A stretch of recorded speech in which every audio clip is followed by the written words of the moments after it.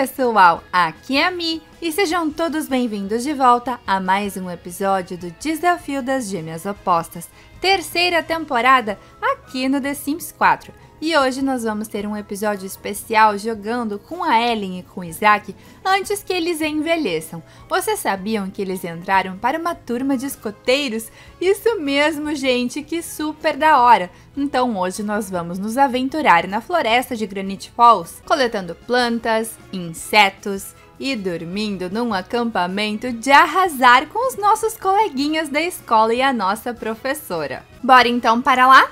E, gente, lembrando que se vocês estão gostando dessa série, mostrem muito seu apoio, deixem bastante like no vídeo, compartilhem, se inscrevam aqui no nosso canal caso não estejam inscritos, ativem as notificações de vídeo clicando no sininho e nos sigam em todas as redes sociais. Os links estão na descrição, junto com o link da playlist, para caso vocês tenham perdido algum dos episódios. E continuem enviando sugestões do que é que vocês querem ver por aqui. Eu adoro ler tudo que vocês escrevem e geralmente me geram várias boas ideias.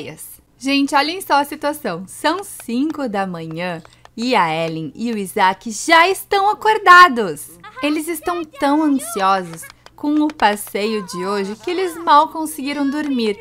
E o que é que a dona Helena, a avó suprema e mãe maravilhosa, está fazendo? Preparando sanduíches para as crianças poderem levar no passeio. Ai, que fofura, Master!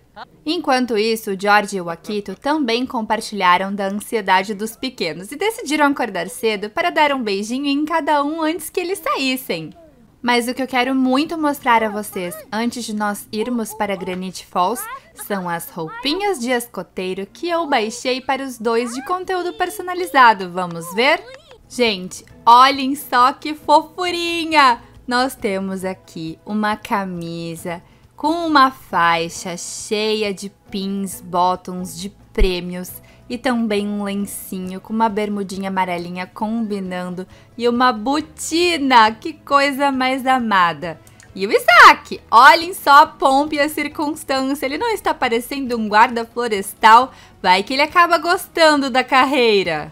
E se apaixona pelo ar livre tanto quanto? Pois é. Bora então para Granite Falls?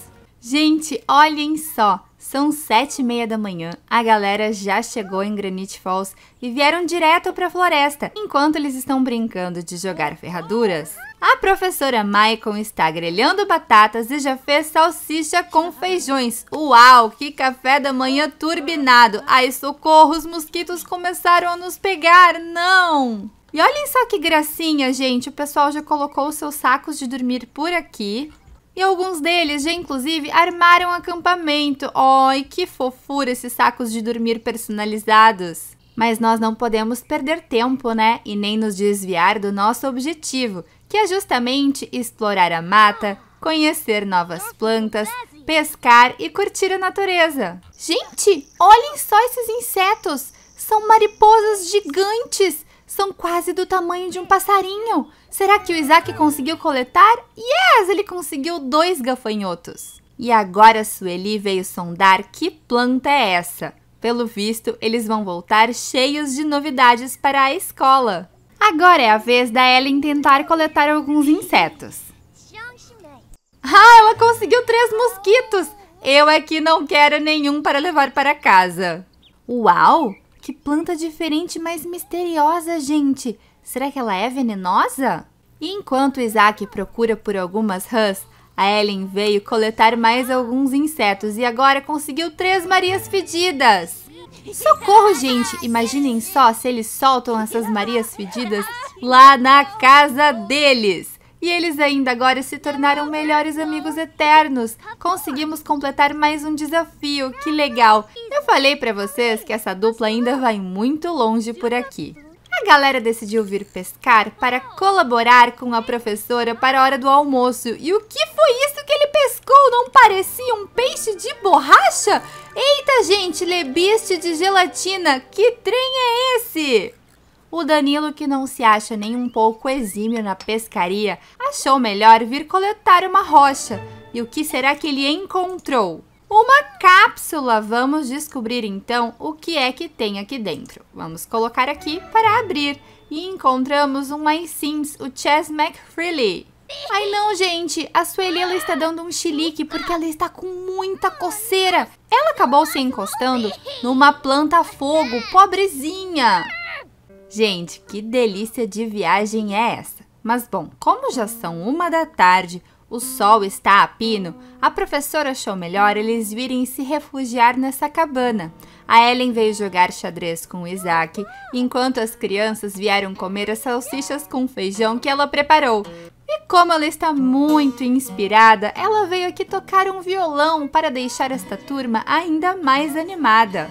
E depois de comer um almoço delicioso, nada melhor do que passar um tempo ao redor da fogueira.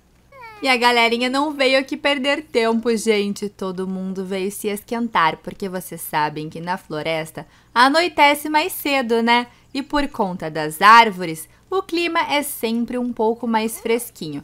Ai meu Deus, o que é que Ellen vai fazer? Não, gente, ela está brincando com o fogo. Crianças, não façam isso em casa. Vai que ela acaba se queimando ou botando fogo. Quem é que está fedido? Tem uma fumaça verde tóxica saindo por aqui. Socorro!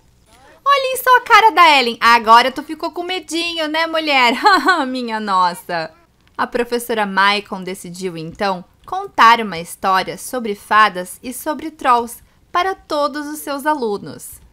Era uma vez uma fadinha mágica que vivia nas florestas sobre as árvores, até que um dia ela avistou um troll muito gigante que estava destruindo tudo ao redor.